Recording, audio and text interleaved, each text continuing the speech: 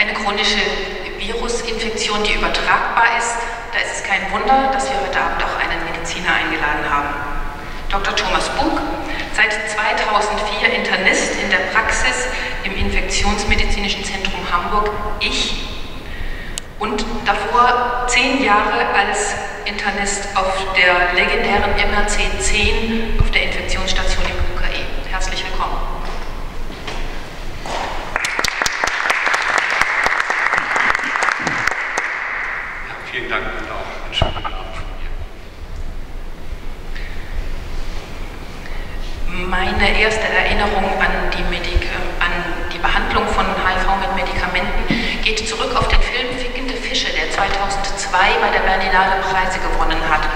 Die Regisseurin Almut Ghetto porträtiert einen 16-jährigen HIV-positiven Jan und im Vorspann des Films sind nur dessen Hände zu sehen, die auf dem Küchentisch seine morgendliche Ration Tabletten sortieren und es waren so viele, dass er einen Fisch daraus bauen konnte. Das ist heute anders. Inzwischen redet man davon, eine Spritze zu geben alle vier Wochen oder zwölf Wochen. Aber das wäre die Therapie von morgen.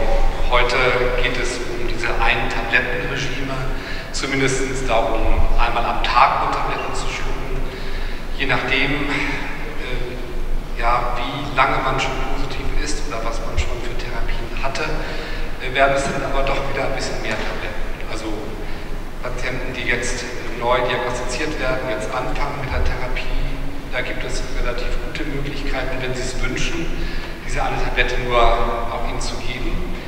Für manche ist es gar nicht wichtig. Sie sagen, die Verträglichkeit ist viel wichtiger als die Anzahl.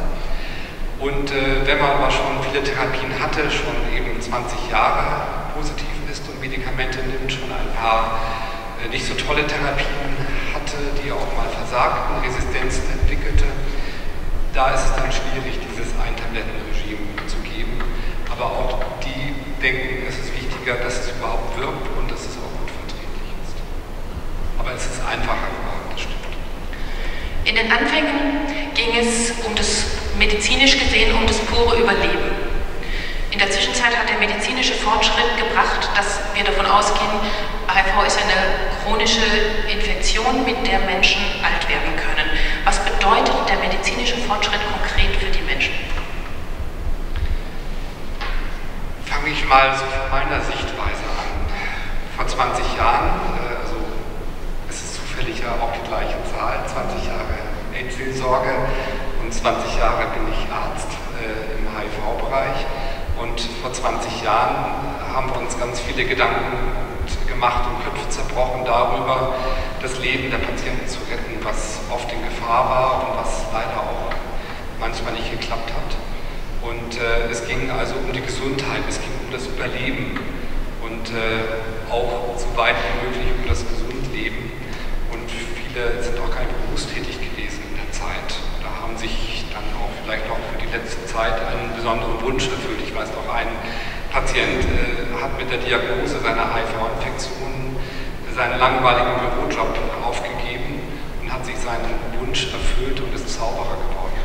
Und sogar ein guter Zauberer ihn ein paar Mal erlebt, wie er dann gezaubert hat. Er sagte, diese, diese Traute hätte er gar nicht gehabt, wenn er nicht HIV-positiv äh, genau, äh, das war damals so. Heute ist es so, dass man mit der HIV-Infektion besser leben kann, was das Medizinische angeht, weil die HIV-Infektion besser behandelbar geworden ist. Aber es gibt viele soziale Probleme, es gibt viel Stigmatisierung, es gibt viel Ängste um den Arbeitsplatz, oder auch die Frage, die vorhin schon gestellt wurde, wem erzähle ich von meiner HIV-Infektion? Und wenn ich das anderen erzähle, was passiert dann? Wie kann ich dann weiter? Und es ist heutzutage ein großes soziales Problem und das Problem ist noch sehr, sehr groß. Das klingt so, als seien auch bei dir in der Praxis die Themen von der reinen medizinischen Versorgung verlagert in Alltagsbewältigung?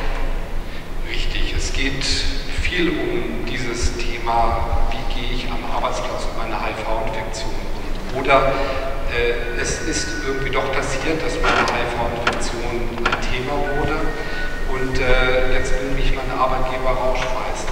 Wie reagiere ich darauf? Wie gehe ich damit um? Das heißt, es geht auch viel um diese Themen des Lebens mit der HIV-Infektion. Also ich bin heute, würde ich sagen, noch mehr Sozialarbeiter als Arzt, als ich das noch vor 20 Jahren war. Vor 20 Jahren habe ich mich eben mehr um diese medizinischen Belange gekümmert, die ja auch nicht so per perfekt händelbar waren. Ich möchte noch einmal bei den medizinischen Belangen bleiben. Die Medikamente äh, bewirken, dass wir sind bei einer Blutkontrolle.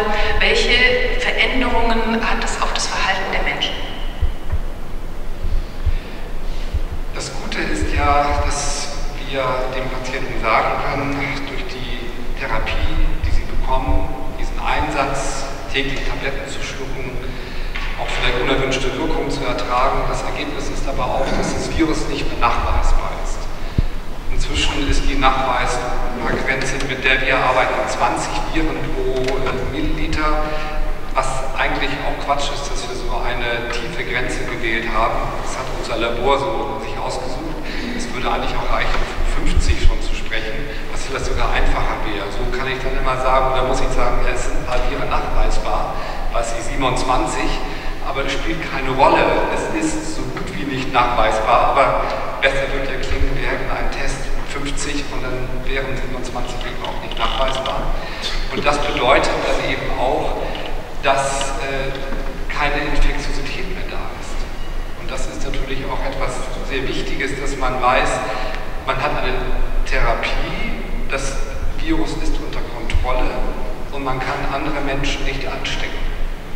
Und äh, das hat natürlich auch Konsequenzen. Es gab ja dieses ECAF-Papier vor vier, fünf Jahren aus der Schweiz, äh, was der Pietro Vergnazza äh, mit viel Engagement auch vorgetragen hat und da sehr isoliert war am Anfang, wo er eben auch nochmal sagte, Menschen unter einer HIV-Therapie, die gut wirkt, also nicht nachweisbar und ohne weitere Erkrankung gelten als nicht infektiös.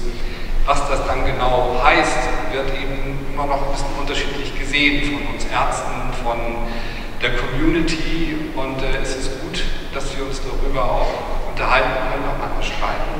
Aber wichtig ist eben, die Infektiosität ist so gering, dass man immer wieder auch in Studien bestätigt sieht, dass eine Infektion eines positiven äh, eines äh, negativen Partners nicht möglich ist, wenn er unter Therapie steht und sie gut wirkt und eben auch regelmäßig eingenommen wird. Da interessiert mich jetzt, weil es mich immer wieder völlig fassungslos macht, wie der Umgang im Alltag ist, auch unter Kollegen. Ich habe einen Freund, der ist HIV-positiv seit vier Jahren und musste gerade eine Zahnimplantation machen lassen. Der ist von zwei kieferchirurgischen Praxen abgewiesen worden mit der Begründung, wir operieren jemanden, der HIV-positiv ist. Wie denn das? Naja, da sind die Kollegen leider schlecht informiert und das ist äh, der Normalfall, fürchte ich, bei manchen Gruppen von uns Kollegen. Also sagen wir mal so, ich kenne mich ja auch jetzt in der Akademie nicht mehr so gut aus bin jetzt zehn Jahre aus der Klinik raus und würde auch sagen, dass ich die neuesten Methoden in der Klinik auch nicht mehr kenne, würde aber mich natürlich auch nicht so ereifern und irgendwie dagegen reden, wenn irgendwas erzählt wird, was ich nicht so gut kenne. Im HIV-Bereich ist es immer ein bisschen anders. Da reden Leute über Dinge, die sie gar nicht kennen oder sind auch entstanden wie vor 20 Jahren. Und äh, zum Beispiel kenne ich es auch, wenn ich Überweisungen schreibe. Ich schreibe prinzipiell nie die HIV-Infektion die Überweisung drauf. Man weiß ja nie, wo der Zettel landet und da ist eben dem Patienten die Möglichkeit geben, diese Informationen auch für sich zu behalten bzw. frei zu wählen, wem er sie gibt. Und natürlich kann ich Ihnen sagen, und sage ich auch, wählen Sie sich einen Zahnarzt, wählen Sie sich einen Orthopäden, dem Sie auch von Ihrer HIV-Infektion erzählen mögen. Verpflichtend sind Sie aber nicht, es zu erzählen. Und äh, ich habe schon von Orthopäden böse Anrufe bekommen, die mich beschimpft haben, weil auf dem Beweisungszettel eben die HIV-Infektion nicht drauf stand und sie mir vorgeworfen haben, dass ich damit äh, etwas angetan habe, sie eine Gefahr ausgesetzt haben. Klar kann ich dann zynisch darauf antworten und sagen, ich weiß nicht, was Sie mit diesen Patienten vorhaben, aber wenn Sie mit ihnen keinen Sex haben wollen, dann äh, werden Sie sich auch nicht infizieren mit HIV. Aber dieses Thema ist dann so ernst, dass ich mir diesen Witz äh, dann vergreife. Und äh, ihm aber nochmal sage, dass äh, er keine Gefahr eingeht, äh, wenn er diesen Patienten behandelt und dass eben HIV bei seiner Behandlung nicht übertragbar ist. Und beim Zahnarzt, wenn ich es noch kurz äh, dazu sagen darf, ist natürlich nochmal ganz wichtig, dass egal, ob man eine HIV-Infektion, also einen Patienten mit einer HIV-Infektion oder einer Hepatitis B oder C oder auch irgendeiner anderen Erkrankung äh, behandelt, von der man weiß oder auch nicht weiß, man muss immer sich schützen als Zahnarzt. Also wenn man ganz tolle Augen hat und nicht wie wir beide eine Brille tragen muss, dann muss man bei der Arbeit trotzdem eine Brille tragen, wenn da eben auch nur Glasscheiben drin sind, um seine Augen zu schützen. Und äh, insofern ist diese Frage, äh, sind sie positiv oder darauf Wert zu legen, ist unsinnig. Sinnig ist, dass er sich schützt und da braucht er nicht zu wissen, ob die andere Person positiv ist oder nicht. Und äh, es gibt ja auch Menschen, die gar nichts von ihrer Infektionserkrankung wissen geht er dann anders mit diesen Patienten, muss man ihn fragen. Das heißt also, es stellt sich dann die Frage der Kompetenz, äh, die er äh, gerade abstreitet, äh, wenn er so eine Frage stellt oder sich so verhält. Und Thomas, was ist denn deine Prognose? Wie lange muss ich denn noch warten, bis sich das rumspricht? Das hängt ja davon ab, wie gut wir informieren. Und es gibt immer wieder so Wellen, wo wir auch gefragt werden, Vorträge zu halten, auch von Zahnärzten das habe ich auch schon getan, eine Zeit lang häufiger und dann plötzlich mal wieder ein paar Jahre gar nicht. Aber es gibt so Wellen, wo auch äh, dort Interesse ist. Und wichtig ist eben auch, dass die Patienten sich beschweren. Also dafür haben wir die Ärztekammer, die natürlich klar manchmal auch sehr inaktiv ist und nicht so viel macht. Aber je mehr Patienten sich beschweren äh, über solche Kollegen, desto aktiver muss sie auch werden. Und auch wenn es nicht so in die Öffentlichkeit gerät, hinter den Türen wird doch ganz schön beschimpft und bekommen auch diese Kollegen Druck, dass sie ihr Verhalten ändern müssen. Und äh, vielleicht muss man, weiß nicht, ähnlich wie beim Autofahren, wo man ja noch eine Schulung machen muss, wenn man sich nicht gut verhält auf der Straße, müsste man vielleicht den Zahnärzten und Orthopäden auch nochmal so eine Schulung verordnen, wo sie aufgeklärt werden zur HIV und die neuesten Therapien. Aber das ist natürlich auch wieder nur nicht ganz gemeint. Es wäre ja vielleicht eine Idee, mal einen Brief an die zu schreiben. Mit meiner letzten, letzten Frage möchte ich jetzt nochmal auf die Eingangsbemerkung von dir zurückkommen. IM-Spritze alle drei Monate hört sich gut an. Sag doch da mal bitte noch was dazu. Genau. Nochmal so diese 16 Tabletten am Anfang, äh, ja auch nicht einmal oder zweimal, sondern meistens auch dreimal am Tag und die einen nüchtern, die anderen mit Mahlzeit äh, und die nächsten dann nur nachts sehr unterschiedliche, komplizierte Verfahren, die es damals gab. Ähm, inzwischen haben wir fünf Klassen Medikamenten, also ich muss sie jetzt nicht aufzählen, ich könnte es. ähm, genau, und äh, es gibt eben auch eine große, große Anzahl von Tabletten, die auch wieder unterschiedlich kombiniert werden. Das heißt, es ist sehr komplex geworden. Für jemanden, der das täglich macht, ist es überschaubar, nicht so schwierig. Aber wenn man da neu einsteigt, dann Jetzt wollen wir es immer einfacher machen. Und jetzt geht man eben darum, man sagt, naja, das Virus können wir ja gut unterdrücken. Und äh, jetzt geht es ja darum, nicht nur das Virus zu unterdrücken, sondern auch den Menschen dabei zu schonen. Also den Druck aufzubauen, der notwendig ist, aber den Druck äh, zu vermeiden, der zu viel wäre.